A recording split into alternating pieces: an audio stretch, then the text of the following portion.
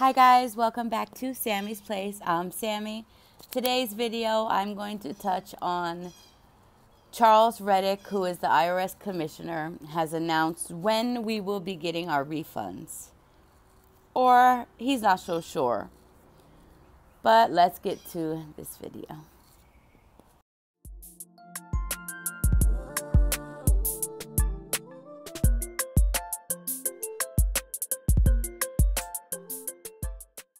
If you guys have not seen the IRS Commissioner Charles Rettig video, I'm going to link it down in the description below.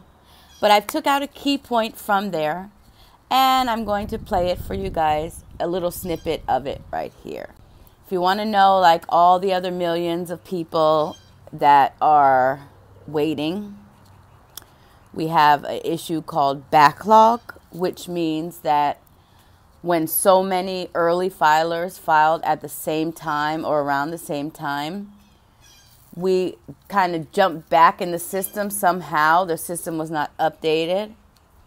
Not only that, but I read on this news article, which I'll also link below, is that there's something also called Jamlog.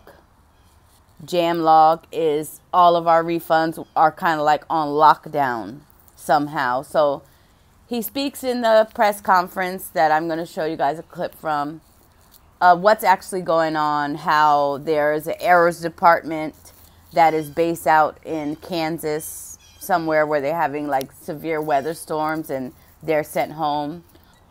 But he did say they're diligently working as hard as they can, which we keep hearing. The full video down below. The Treasury Inspector General for the Tax Administration reported that there are 12 million paper returns waiting to be processed by the IRS uh, and another 12.5 million returns that have been held up during the processing. Alarmingly, it happens, it appears that this backlog is growing.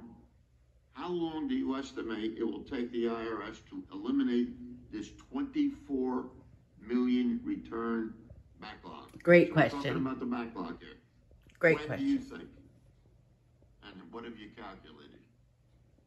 Well, we, we aren't in sync with the 24 million backlog. That, that would include business and other related returns. And typically, what we publish are returns for individuals. The individual numbers for um, returns filed prior to January 1 of this year is 2.4 million returns. The total that are in processing is 7.3 million returns. And as we've discussed um, previously, one of the issues that we ran into with respect to the calls for the extension is our ability to actually get through the correspondence that we have so that we can actually look at the information taxpayers have provided us with respect to the approximately 5 million returns that are in suspense. So between 2019 and 2020, we have 5 million returns in process we have looked at that we've reached out to taxpayers either for additional forms, computations, consistency issues, identity theft issues, verification for the taxpayer, everything that you would expect that we would do. That number is about 5 million. And we sent out and requested information from that pool of taxpayers. They probably, we believe, some of those certainly would have sent correspondence back to us. We get about a million to a million and a half pieces of correspondence per week. We process about a million and a half pieces of correspondence per week. For that purpose, process means we open the correspondence, we input data, we transcribe, we transition to where it's supposed to go. So there's a delay. One of the issues, if I could carry on, sir? Sure. One of the issues with respect to the extension of the tax filing season is we currently have 13,760 customer service representatives who answer the telephones for taxpayers call into the Internal Revenue Service. We, uh, under the most recent legislation, we got authority to bring on a thousand more. Thousand. This goes back to these. These numbers were determined before we got into the situation we got into this year. So obviously, we got we got backed up on our calls. When we shut down, we got backed obviously. up on mail. You know, it's it's a connected system. Well, let, let me put it this way: How long is it going to take you to finish the backlog? yes. That's pretty simple each one of these cases is individual, so we kind of hesitate on saying that actually to come out with a number. Um, we would hope to be through this backlog by the summer. To the extent some some we can resolve instantly, Some we can resolve, it takes us a while to get from the taxpayer. If we have to send follow-up information to the taxpayer, that one would take longer.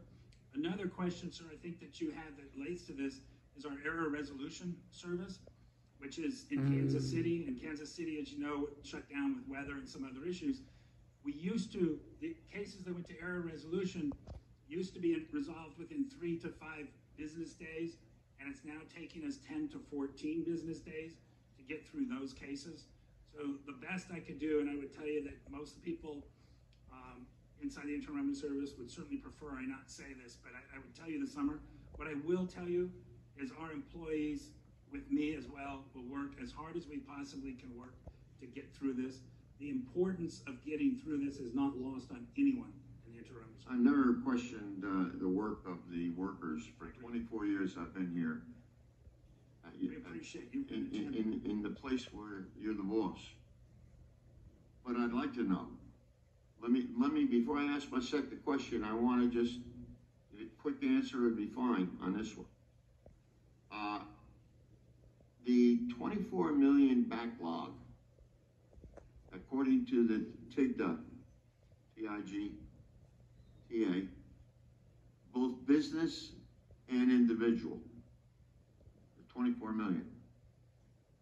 That's, that's a, quite a backlog, Yes. and that was in the report Yes.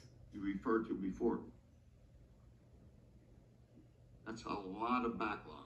You, we always, you know. This is reported in your report. Agreed, but I, I, I believe the committee understands, we always have an inventory, and it's a significant inventory. We're getting about ten to fifteen million returns per week, and that's just individual returns.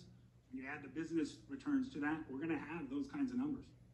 Well, the question is, how many people do you need to do the backlog? I mean, I think that's a We- reasonable we have- question. we How have- long is it gonna take to get it done? To give you an How do you ask for resources if you can't answer those questions? to give you an example, sir, we asked for twenty thousand CSRs, and we got thirteen thousand, and that type of a, a ratio is consistent throughout our agency. Well, you got the folks up here that are gonna fight to make sure you have the resources. Mm-hmm. It's better for you if you tell us you know approximately how much time. I know one issue takes longer than another issue. So there you have it, guys. He doesn't even know. Summer. For those who don't know, the first day of summer is June 21st. I am so uh, praying. Keep praying.